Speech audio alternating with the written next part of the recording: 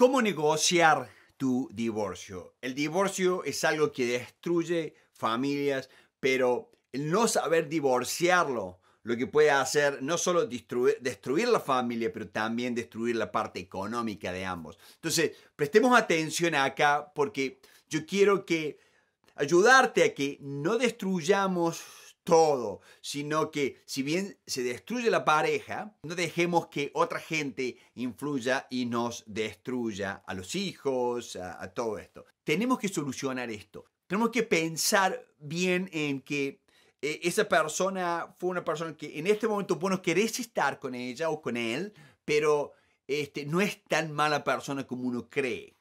¿No? Y tenés hijos en común, tenés cosas en común. Entonces, tenemos que tratar de solucionar eso y no dejar que todo se vaya por una pelea, que en la pelea los únicos que ganan son todos los asesores, todos los abogados. Yo te puedo contar una, historia de una, de una gente, ¿cierto? Que tenía una, un, un divorcio arriba de los 30 y pico, 38 millones de dólares y y bueno, y, una lástima porque se fueron varios millones en toda esa pelea, en toda esa discusión innecesaria. Pero lo peor de todo es que es tan grande el dinero que hay, es tan grande el interés que hay de otra gente, es que eh, eh, lo arruinan en el sentido de que este, pelean y como quieren seguir ganando, quieren seguir extrayendo, mientras más estés peleándote con tu señora o con tu, con tu ex señora, con tu ex marido, este, más dinero van a poder seguir extrayéndote. Entonces,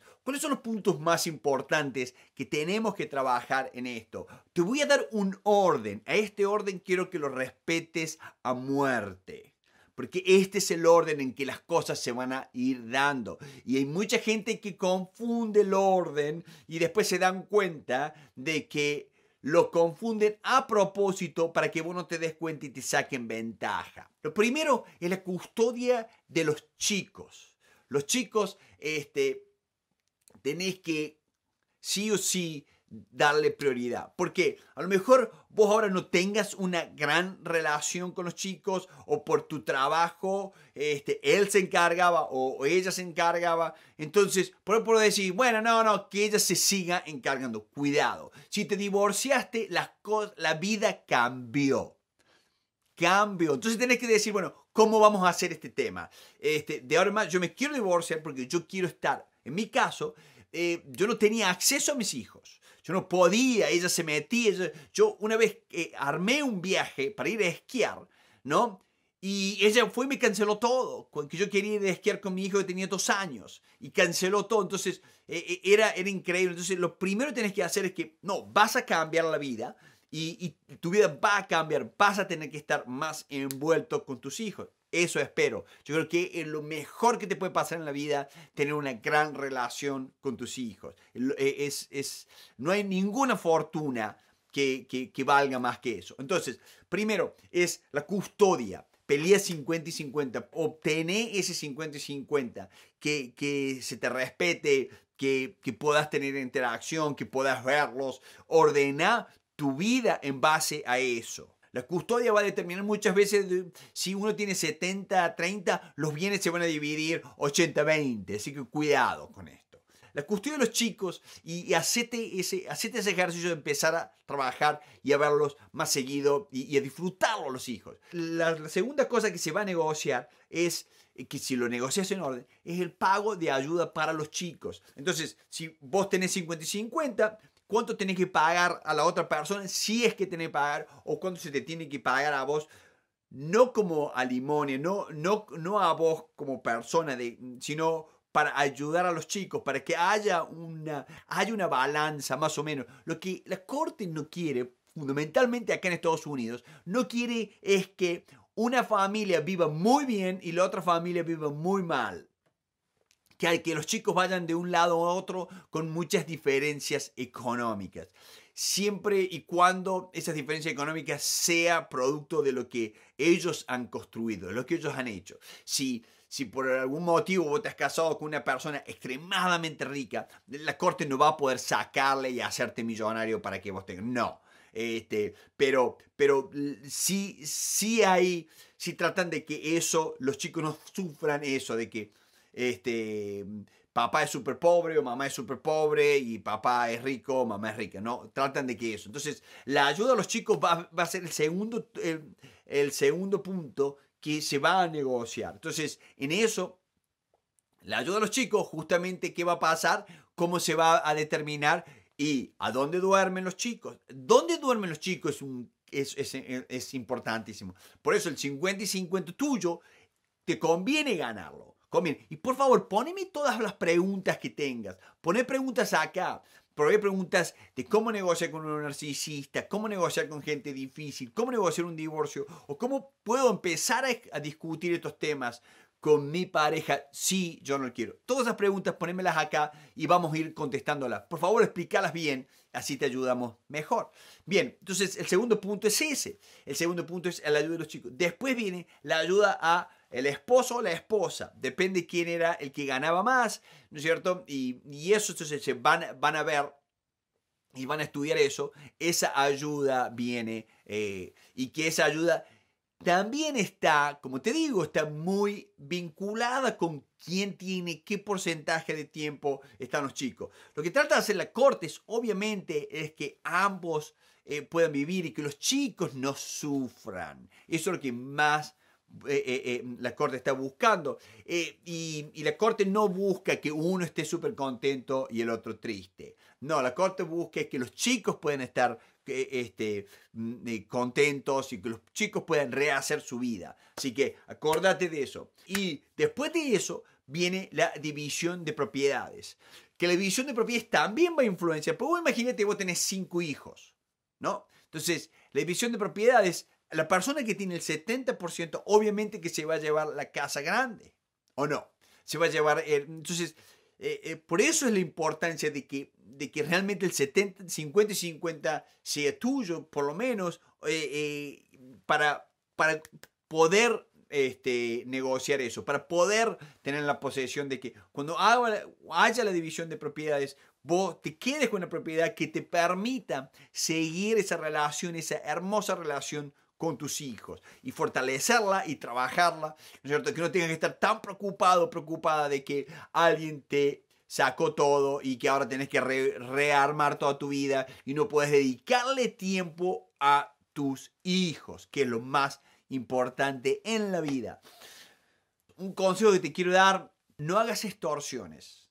Eso es, eso es, las extorsiones este, fundamentalmente si las pueden probar, van a llegar al corte. No hagas extorsiones, no seas agresivo, agresiva, no cometas ese error de hacer eso, este, porque eso no te va a ayudar en nada, en nada. Es más, eso va a trabajar en contra tuya, ¿no? Este, y, y segundo, otro consejo es, cuidado con, este, con la gente que toma a los chicos como extorsión, como que buscan a los chicos únicamente por esto y que realmente no tienen ningún interés en los chicos. Si sos así, bueno, este, si no tenés interés en los chicos, bueno, deja que la otra persona le pueda dar amor. Entonces ahí sí tenés que poner, bueno, listo, ahí sí tenés que poner algo mucho más importante que es tu integridad, ¿no? Pero eh, no usen los chicos para obtener, ¿no es cierto?, eh, esos otros beneficios.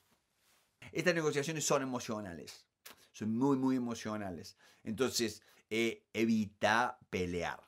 Evita pelear a toda costa, evita pelear, tomate distancia, toma esto. Lo que va a pasar son negociaciones más largas, este, lo podés charlar con ella o con él, este, pero evita pelear, evita, eh, evitar entrar esto. Decir, oh, mira, Estamos cayendo lo mismo. Estamos cayendo a la pelea que nos hace ver que nosotros tenemos que divorciarnos. Estamos cayendo. ¿Por qué no, por qué no hacemos un impasse? ¿No es cierto? Que, que esto ya no sirve. Ya sabemos que nuestra relación ya está terminada, pero tenemos que trabajar y tenemos que coordinar esfuerzos para los chicos. ¿no? Entonces, fíjate en eso. Eh, eh, no importa eh, quién se divorcie, no importa, vos te divorciaste este, si vos le estás diciendo, vos te divorcias, vos te querés divorciar todo el tiempo, para. Para porque a nadie le interesa, a la corte no le interesa, a ella, a él no le interesa. este, para tratar de construir como fue una relación antes, tenés que tratar de construir una relación en la cual se pueden entender profesionalmente, se pueden respetar y profesionalmente porque es una relación más profesional de respetar para que los chicos crezcan y los chicos se van a sentir mucho más cómodos cuando la relación es profesional, cuando la relación no hay tantas emociones, sino hay emociones normales. Eh, ¿va, a la casa de mami? Oh, bar, bárbaro. Va a la casa de tu papá, de tu papi, bárbaro. Ese tema, ese tema de cosas es 10 veces más importante que el estar trabajando. Yo sí te recomiendo, antes de ir, busca este libro, Nunca temas negociar. ¿Por qué te recomiendo este libro? Para, para entender cuál va a ser el proceso de negociación, cuáles son las estructuras y que entiendas que la contraparte de la persona más importante en la mesa. Yo quiero que vos te prepares bien, baja esta hoja, esta hoja está acá, que te prepares bien para todas las negociaciones, para todas las discusiones que vayas a tener. Acá están los secretos máximos que, que, que, vas, en, que vas a comprender de por qué vamos a utilizar tu subconsciente de forma tal que empáticamente y estratégicamente vamos a hacer preguntas para que él y ella se abran ayuden a vos entenderlo y a vos manejar durante este proceso. No te preocupes por el resultado. El resultado se va a dar a medida que veas los siete pasos. Y cada uno de esos pasos que están acá, cada uno de esos pasos, cuando vos los veas y cuando vos te des cuenta en la negociación, vas a decir, claro, por esto es, por esto, y vas a ir aprendiendo en eso. Yo te recomiendo que vayamos a ver un video sobre la necesidad. Porque uno de los primeros pasos en la empática historia persuasiva es en, la mesa, cuando estoy sentado en la mesa, uno de los primeros pasos es cómo yo descubro la necesidad del otro. Yo quiero que vos descubras la necesidad del otro. ¿Por qué? Porque vas a descubrir la necesidad y vas a entender en qué problema se encuentra tu pareja. Cuando uno encuentra el problema y la necesidad, uno puede identificar cuál es el dolor. Y base al dolor, vamos a trabajar para darle una propuesta acertada. Puedes ver acá la empática eh, eh, historia persuasiva, el cuadro. Acá están los siete pasos, pero te recomiendo, este libro está en Amazon. Bájalo, compralo en Amazon, urgente. Empezá a trabajar en esto. Trabaja en tu habilidad como negociador, negociadora. Empezá a establecerte eso. Va a llevar, va a llevar horas, ¿no es cierto? Pero Invertí esas horas en la parte general de la negociación y ya te vas a dar cuenta. Acá en, en, YouTube tenés más de mil videos que te van a ir a ayudar a entender eso. La negociación es una de las habilidades más importantes para todo divorcio. No pelees.